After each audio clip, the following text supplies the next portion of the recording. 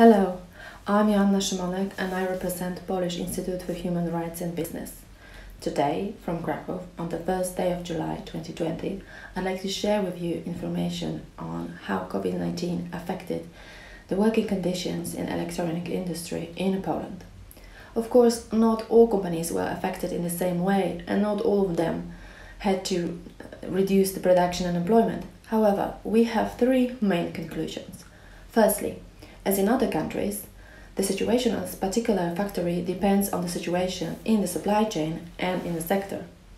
For instance, one of the factories operating in automotive sector supply chain that was affected strongly by the COVID-19 crisis had to downsize the production and employment. Secondly, in all companies from which we received feedback, all the workers regardless nationality, have been provided with all necessary equipment to perform work safely, such as gloves, masks, etc., whereas administrative staff perform work remotely from home.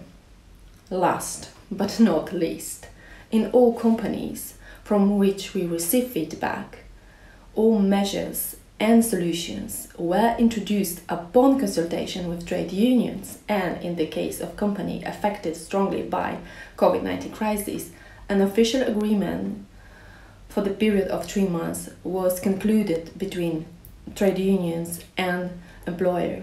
And this agreement seems to balance the social and economic interests of social partners.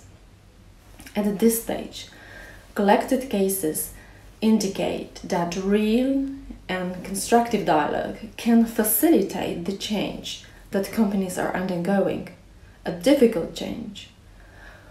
But let me stress, a dialogue, not a managerial announcement of changes.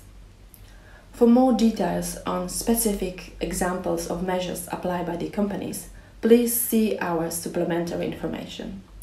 Thank you for listening.